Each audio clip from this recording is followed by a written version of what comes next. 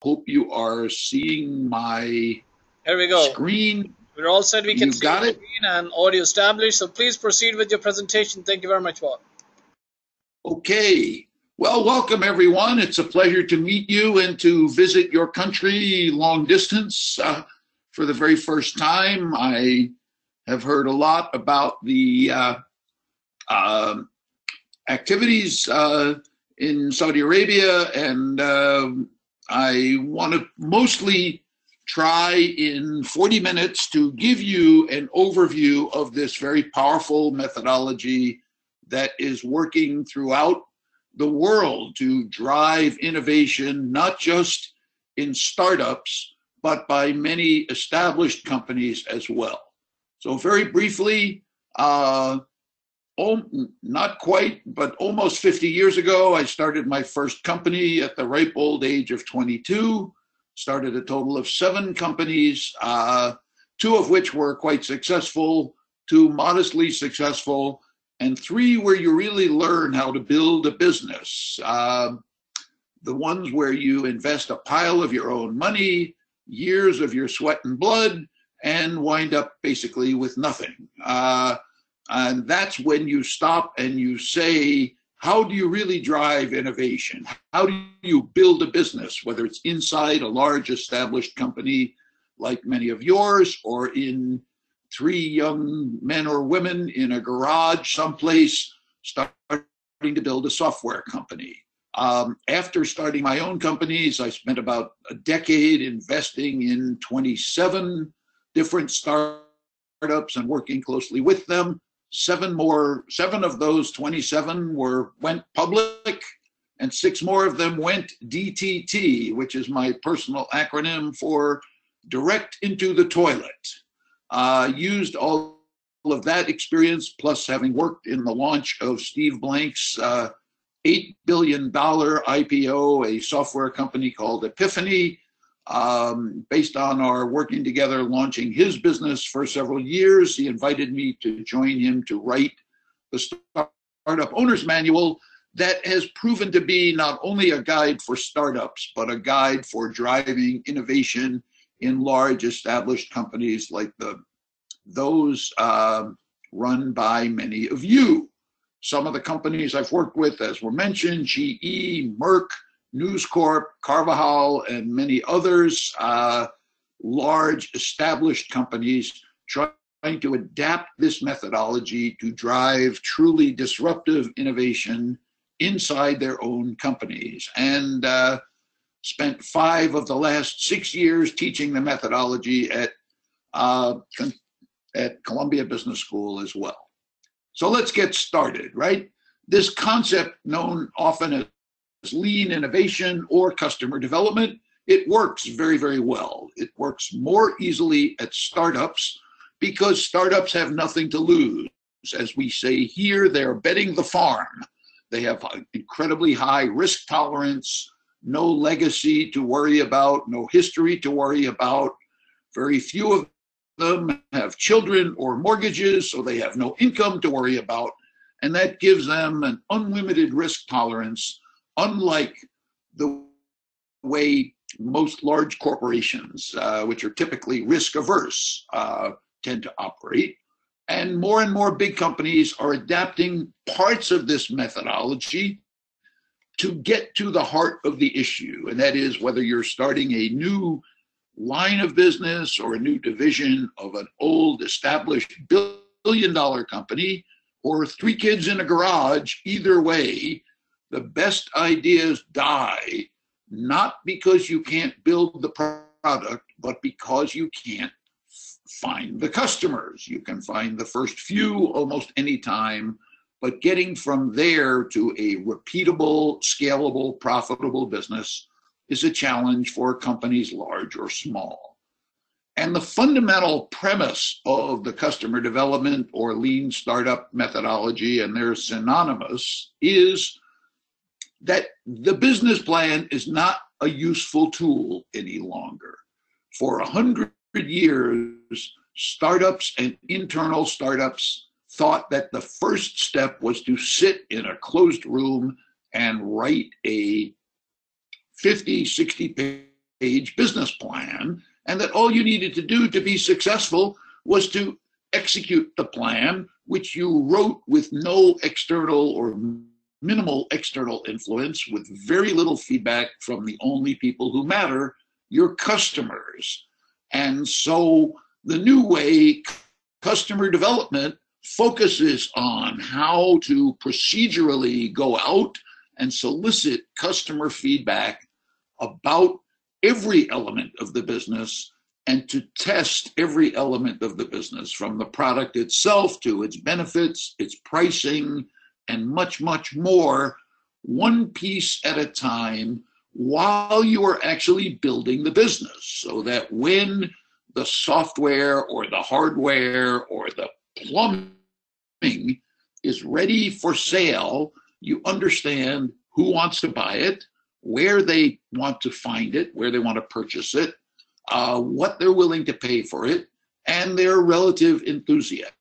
And as, as has been said really already, this method has truly taken the world by storm over the last 12 years. Steve Blank began teaching it at Stanford and Berkeley. He and I both have taught it at Columbia. I've taught it at Skolkovo nine times in Russia, and uh, 4,000 other um, university no i'm sorry four that's a typo. 400 universities around the world are now teaching this methodology as are american government institutions like the national science foundation the national institute of health the small business administration and others. And number of governments uh, have adopted it and major corporations are increasingly adopting it as well there are five sort of fundamental principles of this different method. Startups, whether they're inside a big business or inside a small garage, are not just smaller versions of a big company. A big company has customers, it has products, it has history, it has competitors, and it's dealing with lots of knowns. But on a first day of a new venture's life, it has no history, it has no product, it has no customers. And so the challenge is to figure all of that out before you get your first customer. Since, after all, when you write that 50 page business plan, customers don't realize or acknowledge all the wisdom that you spent months putting into that business plan. They don't read them, they don't know how they're supposed to react. And so the plan is a benign document that belongs in a library, a static sort of corner of the world, and not an active document that drives the growth of a successful business.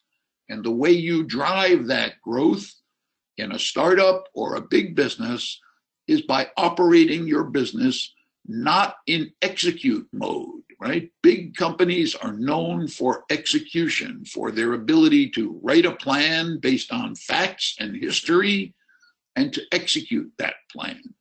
New ventures have no history to build their plan around, and so they begin life in what we've come to call search mode. Let me search for the customers. Let me search for the values and the product features that are going to excite them and get them to buy. And let me first test all of the elements of my business before I begin to spend the serious money actually executing on that plan.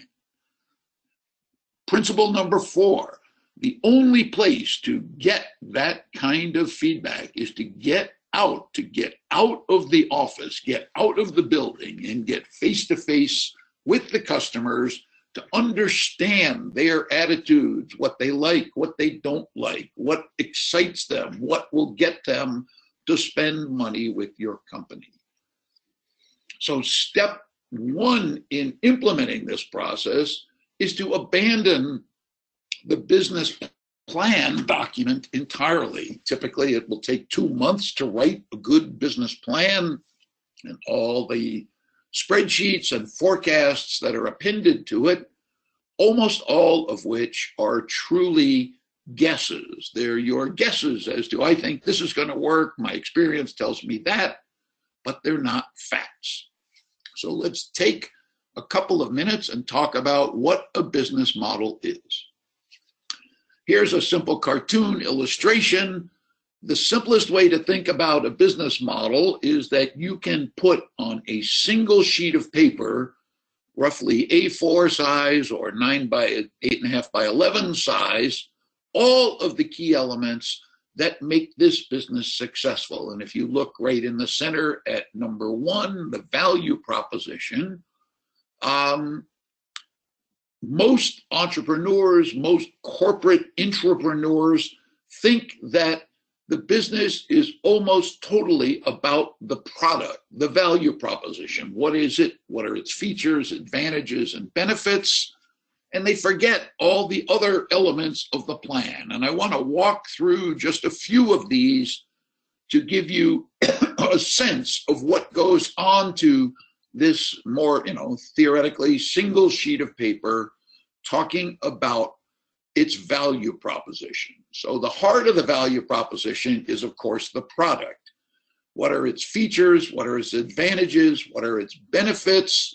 How does it do what it does? Is it software, hardware, technology of some other sort? So that's part one. Part two, how does it fit in the universe? Who are its competitors? What makes the competitor weaker than your product or service? Um, and how are you going to compete with which of those competition? Also, what is the market size of the business? Is it a potentially a huge business opportunity or a small business opportunity?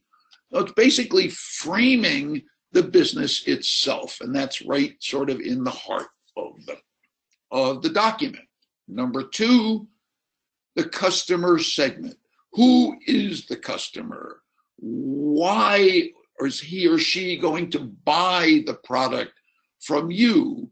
Uh, what motive, you know, what helps you define that customer target as precisely and narrowly as humanly possible in order to allow you to focus your customer development activity, your marketing activity, your sales team on the customer, him or herself. And the way we think about this is tell me who the 20 customers are who are most likely to be very excited, challenged, interested in this product, and to design your product to excite them and to solicit feedback from people who look like them so that you know you can grow from that core base. Because if you can't get it right for 20, it's very hard to know how to get it right for 200 or 2000 or the 20,000 customers you may ultimately want to serve. And one way to think about this is to use this initial thinking to develop a customer archetype, literally almost a cartoon like the one on the bottom of your screen of what does my customer look like? How old are they? What's their job title? Do they work at a large corporation or a small corporation? Do they manage this function or execute the function, or are they way high up in the organization chart at the company? Again, to be able to make them as precisely identifiable as you can along the way. Box number four, customer relationships. How are you going to get those customers? What marketing tactics and techniques are you going to use? Are you going to go to trade shows or have a direct sales force or sell it only online or let Apple sell it in the App Store? How are you going to get the customers? Once you get them, how are you going to keep them with retention programs, with customer support, starting, of course, with an excellent product. And if you can keep them, then how are you going to grow those customers over time? Two very different ways. First, by selling them more, more frequently, more different products, products from others. What can you do to expand that relationship? And if you have enthusiastic, positive customers, they're susceptible to those kinds of programs, whether they're incentive programs or frequent flyer or points programs or things like that.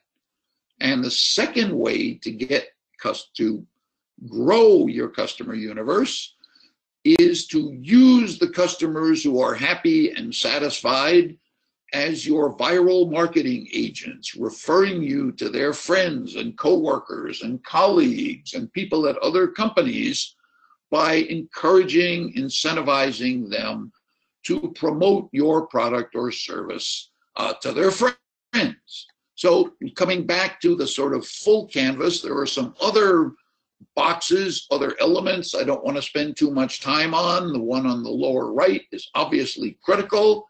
If I do this and I do it successfully, about how many customers do I think I'm going to have? How are they going to pay me? And uh, how often are they going to pay me? Are they renting my software or buying it? Are they try, you know, trying something that's a free version and I have to convert them to get them to pay? Um, all of the considerations on the revenue side and across on the lower left. Similarly, what are the unit cost essentially of each of my transactions and what kinds of corporate or overhead or sales costs get laid against that revenue in order to get a very rough hewn comp, you know, computation of my potential profit. Some of the others, what resources do I need? Do I need iron ore or oil or sand or, you know, bandwidth or uh, lots of talented software developers? What activities do I have to undertake? Do I have to build something? Do I have to show up at the customer's location and deliver it? Uh, do I have a complex manufacturing process that I need to manage very closely? And last, what partners?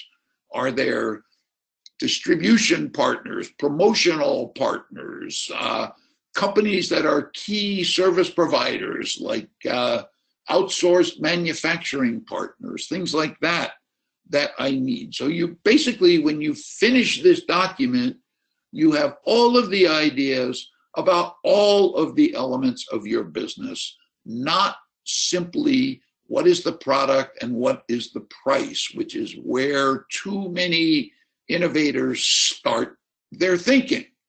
But once you've completed the canvas, what you really have is a bunch of hypotheses. And your canvas, if you're honest with yourself, looks like this, right? I have a bunch of guesses. Now, when you're an established business, it's clearly not all guesswork you want to be identifying the weakest elements in your canvas as they relate to your old business. You want to optimize those links. Where possible, you want to use the canvas to look at established existing corporate resources that you can use to drive this new business. If you have a huge warehouse for another division of your company, wouldn't you much prefer to use a corner of that warehouse till you see how well this business really does than to go and rent another one? If your company operates a fleet of trucks, can you be your own delivery service? So it's identifying the resources that exist inside the large corporation that you can harness to launch the new sort of internal venture. And the other thing that Canvas helps you do is analyze your competition and make sure that as you evolve your thinking about your business model, you are aware of competitive influences, market influences, and designing a business that will cope with all of those. Some established businesses use this planning process to put new energy into an old line of business that has sort of slowed down, not in growth mode. Others use it to find new opportunities in existing old assets, and I'll give you an example of that in a little while. Third, to analyze the business models of competitors and probe for strengths or weaknesses and see where that creates opportunities for your own company. And last, it's a great tool for looking at your business as it is today and filling out a canvas for the business that you've been in your family for generations that hasn't been growing for a number of years. And to look at all of the elements of the canvas and challenge each one of them, first with your internal teams, and then by getting out and talking to your customers and understanding from them whether they would be responsive to a new way to do business. And so we get now to the heart of the methodology customer discovery, right? This is when you take the business canvas tool and you begin to actually get out of the building and start to in- interact with customers in customer discovery. And there are typically three phases to the customer discovery process. And the first of those has nothing to do with the product or service at all. The first of these is what we call problem discovery. Before you would want to launch a business, don't you want to be sure that there's a market opportunity you're playing into? And so the first phase is really a matter of understanding how serious the problem you're solving might be or how big the need might be. And the way to think about this is if you're not solving a painful, expensive, serious, urgent problem, you're probably not building a product for which there's a market, right? Businesses buy products and services because they solve problems. And the more serious and costly and painful that problem is, the more likely it is you've discovered a business opportunity. So, in the first phase of customer discovery, you get out of the building and you don't talk about your product at all. You talk to customers about do they have a problem with their accounts receivables management, let's say?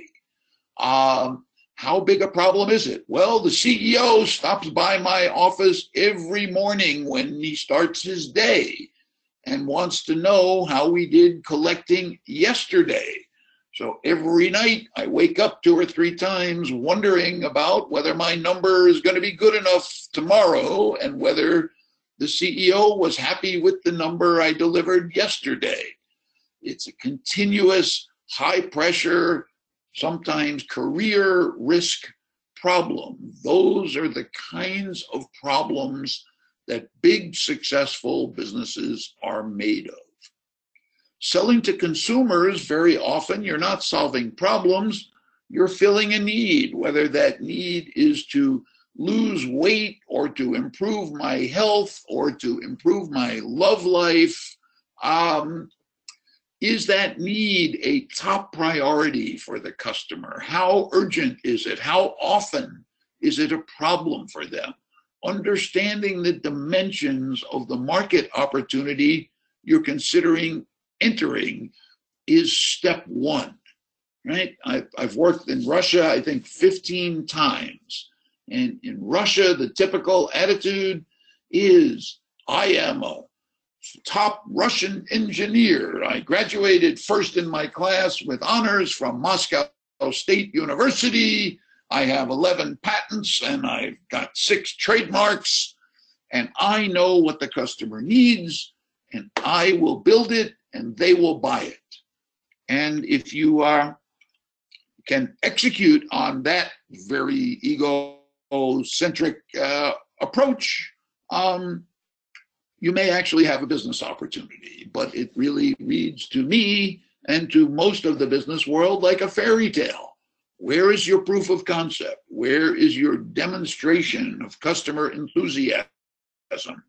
How do you know they're going to care? How do you know they're going to buy it? And so spending a few days, a week, sometimes more, talking to people you believe are good candidates to be your customers um, is a great way to get a closer understanding of an existing business or to explore the opportunities for a new one.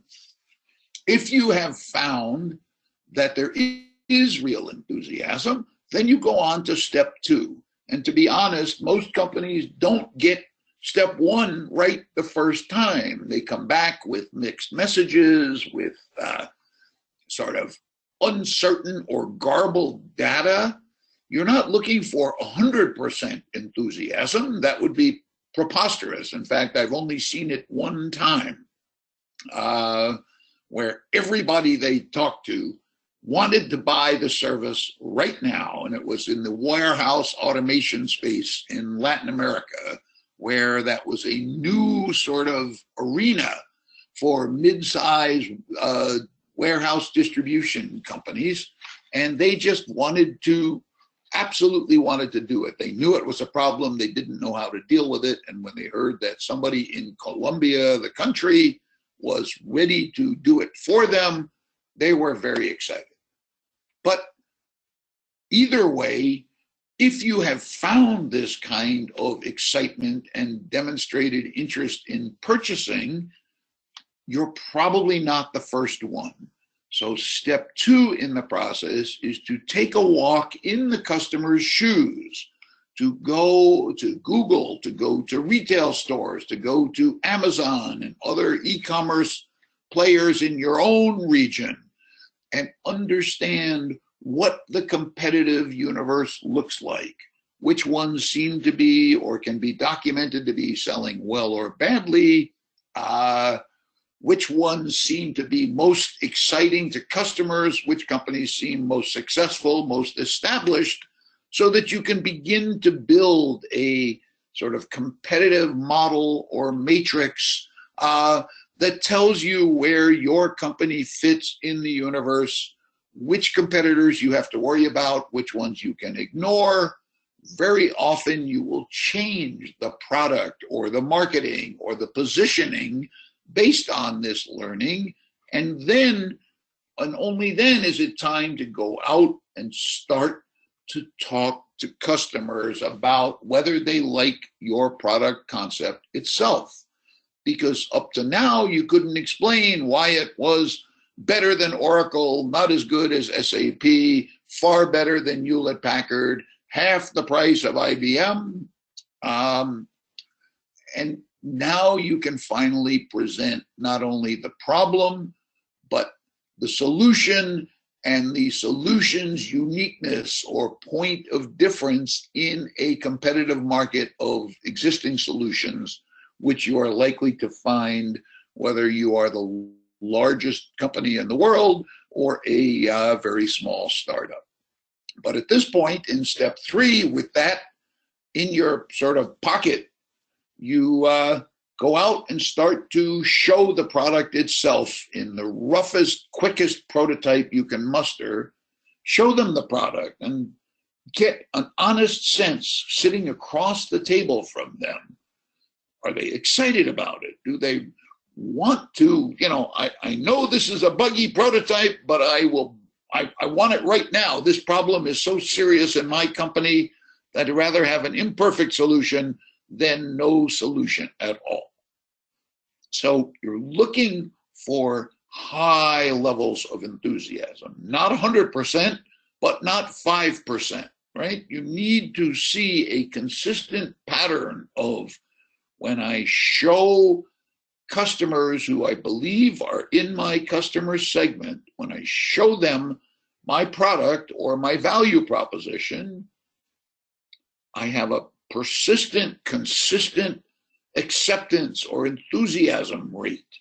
Three out of 10 of the people I show it to are jumping up and down, eager to buy it, right? If you are selling something like software, typically you'll be able to um, have a profitable business making three or four sales of enterprise software for every 10 sales calls you go out on.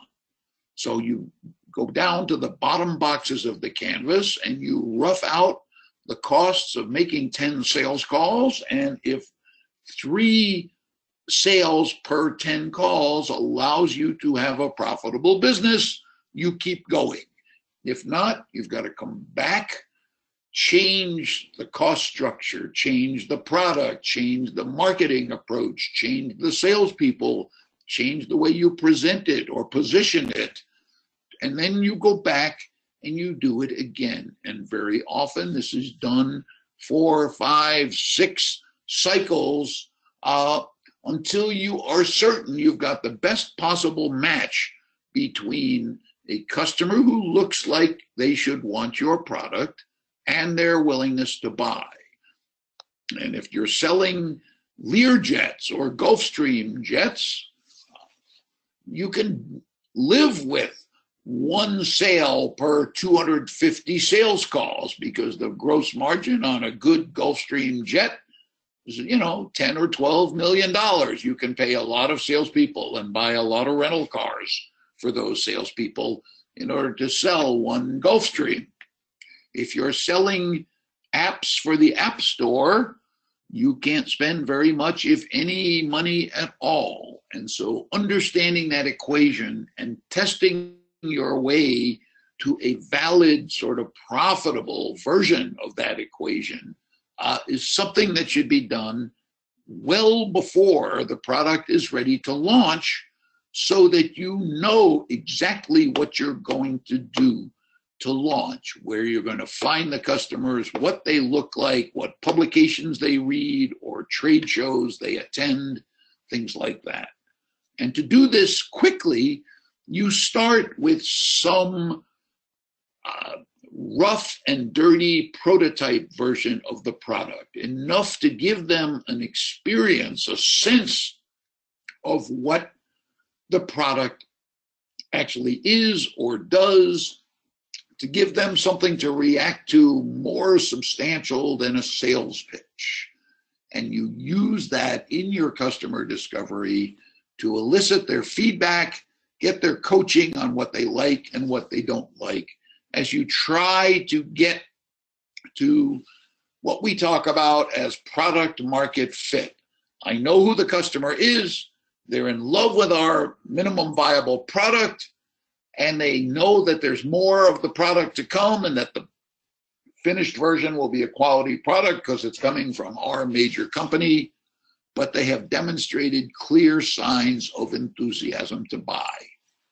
And when this doesn't happen, which is often, you pivot, you go back a step and you iterate the product, you iterate the marketing, you iterate the, va- the, the value proposition or the way you present the value proposition as quickly and with as much agility as you can. And you're testing, improving, doing an experiment, getting some feedback, iterating based on the learning, and doing it again and again. Let me give you three very quick examples. Probably the most legendary was IBM. Frank Cary, then the CEO of IBM in 1980, said, We need to be in the PC business, right? So he knew that if he put this through the normal product development cycle at IBM, he would be in the PC business somewhere around 2017 instead of 1981. So he put together a team of 12 people with a very senior leader, very trusted to him, and said, Here's what I want you to do. I want you to move a thousand miles away from IBM headquarters so we don't even know you exist. I want you to break any rule you need to break to get this done, but I want to be a major factor in the PC business as quickly as humanly possible.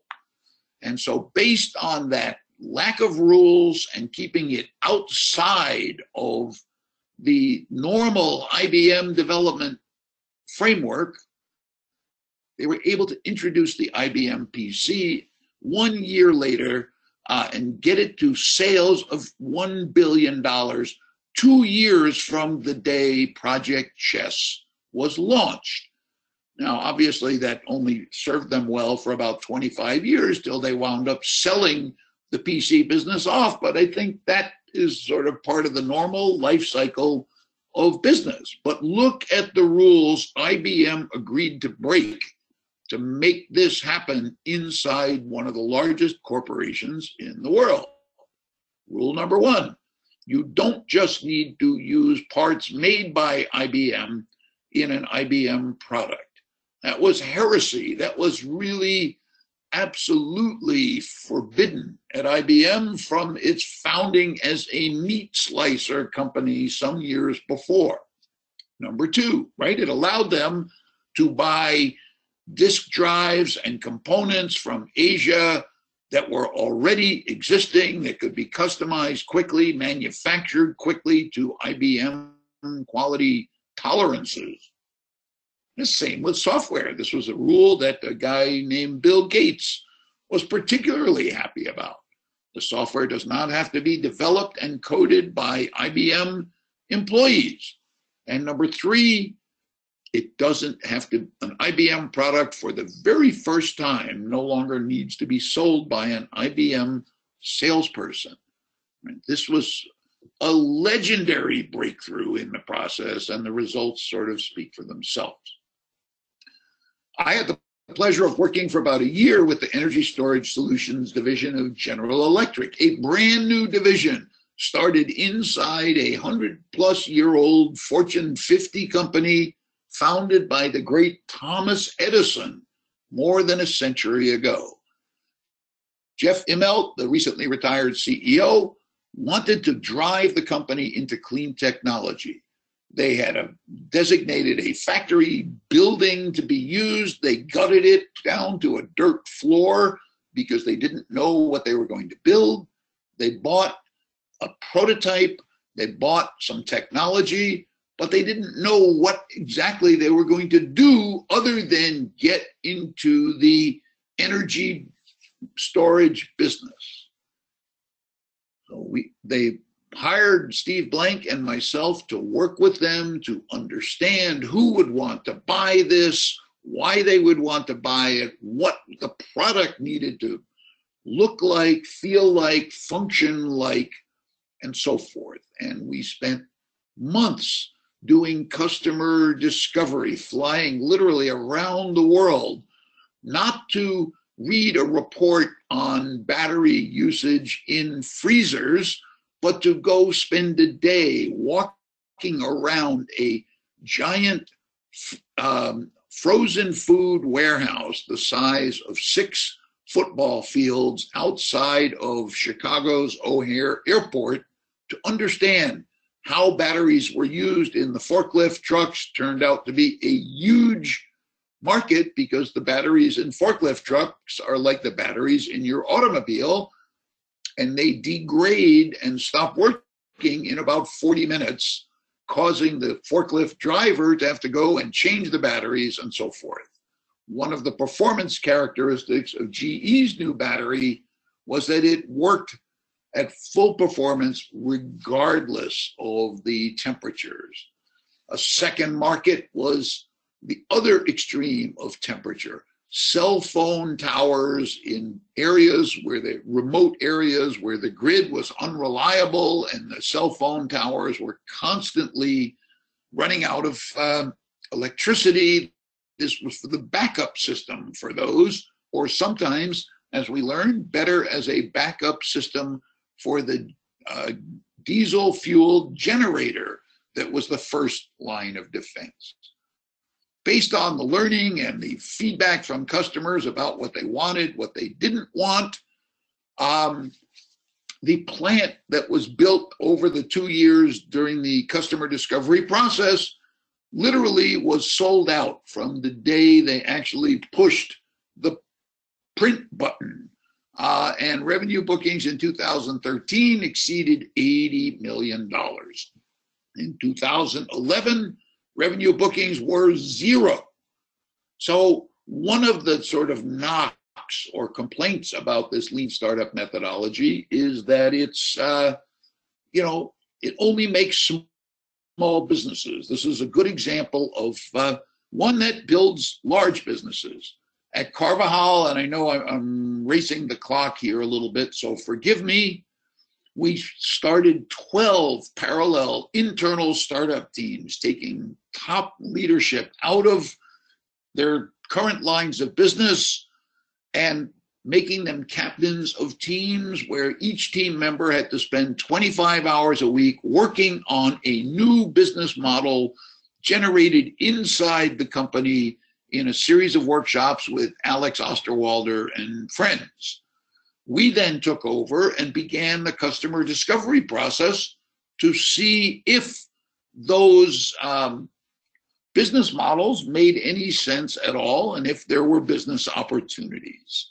The teams were given the freedom to break rules. We knew that 12 of the 12 um, startups we were building were not all going to succeed, but we were seeking new lines of revenue from the business. So out of the 12, we had three very successful businesses. The one that I'd just like to mention was a new type of a replacement, if you will, for styrofoam, one of the great uh, causes of uh, excessive waste and landfill uh, consumption throughout the world. By taking several unused or underutilized paper mills, and instead of putting wood pulp into the soup in the paper mill, we put in sugarcane refuse. Bagasse is, or the leaves that are cut off the sugarcane before it's harvested or while it's harvested. And that bagasse, when turned into paper, could be made waterproof or water resistant and grease resistant with a very slight dose of plastic coating, so slight that the cup itself was completely biodegradable and uh, could replace styrofoam with something that never saw the inside of a dump. So um, that business has gone on to be quite successful in a number of uh, different markets, particularly disposable coffee cups and the clamshells that hamburgers and french fries typically go into in uh, fast food restaurants. So, two quick minutes. The key challenges at big companies and how you drive innovation there. There's basically four challenges at big companies. Factor one is process. Big companies operate on plans. We execute the plans and punish the people who don't execute them. We have rules, we have procedures. And when we want to do something new or innovative, we call Bain or McKinsey or BCG. We don't do that ourselves, or we send it over to the market research department, but we don't know how to drive innovation internally. So, what do you do about that? Change the process to build team internal teams that are operating like startups business within the much larger business. Find examples in your own industry of companies that have done it successfully.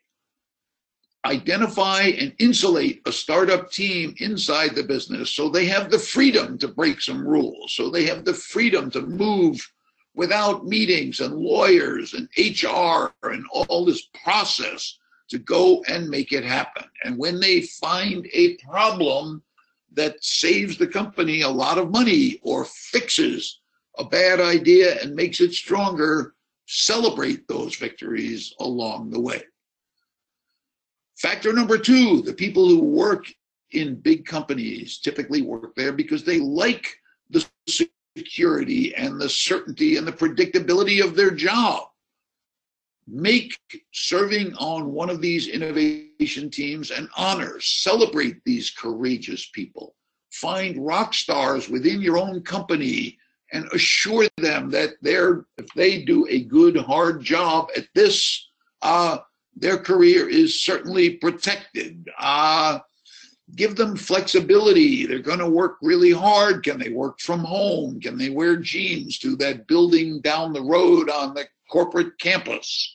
Uh, promise them growth opportunities that equate to the stock options that young startup founders get, whether it's career capital, the opportunity to be exposed to leadership more often, the opportunity to pursue some of your own ideas, and be as excited about ideas that don't work out as you are about ideas that do work out. Because when an idea doesn't work out, it saves the company tons of money, tons of you know cycles and stress and resources, and also the risk of embarrassment in the marketplace and so forth. Priorities. If this type of disruptive innovation is not a priority for the CEO or the division head. Sometimes uh, in your region of the world, it's the bright young son of the founder who wants to shake things up and drive new disruptive growth in the company.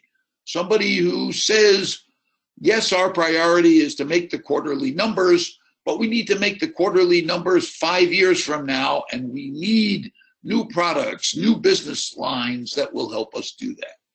And other people will say, gee, these businesses start small. Well, so did Aramco, so did Coca Cola, so did IBM. It has to start small. And if you don't want to call the merchant banker and acquire the company, you need to grow them from the inside. So you need that leadership buy in. You need to somehow isolate these crazy pioneers that are trying to break some rules and do something bold and dramatic. Need to somehow segregate them, if you will, put them in a different building, free them from the meetings and the email and the normal constraints that people who work in large companies uh, deal with. Give them permission to break the rules and a senior executive with the authority and the credibility and the clout to defend them when they step on a toe or a landmine or whatever. And the last factor is paranoia, right? Companies are afraid to show products that are under development to customers because they're worried it might be embarrassing. But if you are sh- inviting a customer to give you feedback because they are knowledgeable or smart or loyal, it's more of a compliment than it is a risk to the company. So you need to deal with this fear of, oh, this is never going to work or this is going to put our company at risk by finding measurable progress benchmarks along the way. The team leader has to be totally candid with the sponsor to be sure that there are no surprises. There needs to be a clear week by week written work plan and there needs to be the courage to just go out and do it. So that was about a two hour lecture. I am glad to have completed it in, I think, 41 minutes and uh, look forward to welcoming any questions you may have. Well, thank you very much, Bob. And uh, folks, we're now open for question and answers. If you have any questions, you could always insert it in the question box or you could equally raise your hand. There's a hand icon available on the console, so please click on it if you want to talk to Bob. Um, let me go to the question, Bob. Uh, do you help large companies apply the lean startup principles in their innovation efforts? Uh, yes, I spend a, a, good deal of my time working uh, hand in hand with companies as they try to create these teams, train the teams in the methodology, coach them as they proceed through the exploration, um, and try, you know, to treat the teams with the the, the uh, sort of proper respect and uh, not be their uh, babysitter, so to speak, but instead you know, uh, for example, in Latin America with Carvajal, a billion dollar company, spend a week with the teams, both in workshops and one on one, team by team. And then by Friday or Thursday, every team had its work plan for the next two weeks. and we would connect by Skype or whatever, but they would really drive the innovation because they need to own it. They need to uh, really take charge and drive the bus. All right, thank you very much. Um, another one. What are the first steps you encourage an established company to take? I think the very first step is to really get a good grounding in the methodology, where it's worked successfully and where it hasn't, and see if the leadership team of the company, of the parent company to these new startups, is seriously committed to taking the, the risk and to testing the method. Because if the senior team isn't committed, then it, it, it's almost certain that the innovation program is going to be a failure. At Merck, for example, in the $3 billion consumer product division of Merck, the CEO said, let's create our own venture board. And she brought four or five of her direct reports onto what looks just like a board of directors.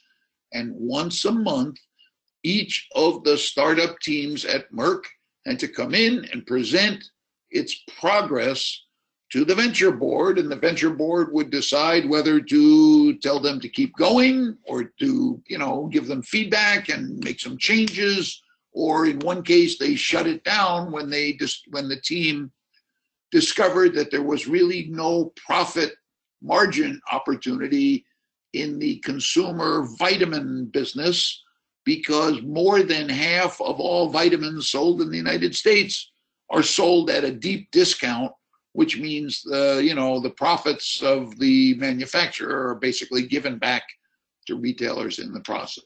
So step one is making sure that management is committed to this process and approach.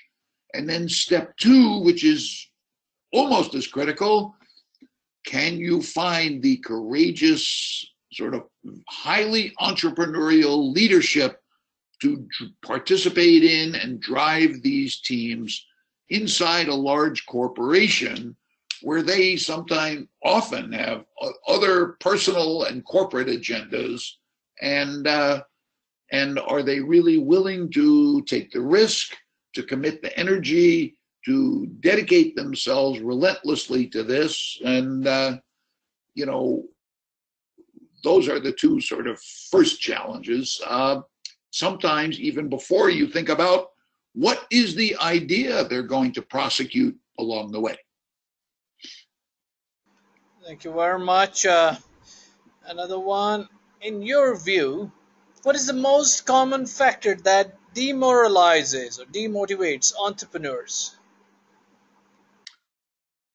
Uh, well, I I think it's really a persistent uh, struggle or failure in on the road to this um, sort of step I talked about called product market fit. Right? If you look at the statistics, there are so many statistics about startup failure or entrepreneurial failure that put it in the you know 90 to somewhere between 90 and 98% of all businesses that are started today will fail to scale into sizable material businesses. And so there is this uh, big chasm, often known as the land of the walking dead, where a company is sort of poking along with either a little bit of revenue or uh, a little or a more revenue but no profitability but in either case they are not seeing any growth and i think that when you fail to see uh, growth in an early stage company whether it's an internal company or a new independent startup that's by far the most uh, disorienting um, depressing uh, issue for the people on the team. And usually they solve that problem by leaving the organization, which is a, you know, is a shame. but it's a because they will know long before the senior management will know that things aren't going well because they are the ones who are face to face with the customers out in the field, seeing polite enthusiasm, not genuine, you know, high level enthusiasm, things like that. All right, thank you very much, Bob. That really brings us towards the end of the webinar. Any quick concluding remarks that you would like to give before we dismiss out? I would just say that this, uh, when you read, if you spend some time, read the Harvard Business Review article on the lean startup and its increasing adoption and power in major corporations. It takes a great deal of courage to launch this kind of an initiative in an established, sizable company, but the opportunities are there to create new disruptive lines of business inside old companies. And if I can be of help to any of your many old, historic, successful companies, bobdorf at gmail, pretty easy to find. So thank you all for your attention and uh, enjoyed being with you this this evening. Well, equally, we all enjoyed it. So thank you very much, Bob, for taking the time to deliver this webinar on Miles platform. So I really want to thank you on behalf of the Madinah Institute for Leadership and Entrepreneurship for your valuable information that you shared with all of us. So thank you very much once again. And thank you all of those who participated in this webinar. We are recording, so please stay tuned to webinar.ma.org. With that note, I would like to end and conclude. So you all have a good day, good afternoon, good evening, wherever you're calling from. Assalamu alaikum wa rahmatullahi wa barakatuh. Thank you very much. Bye bye. Thank you.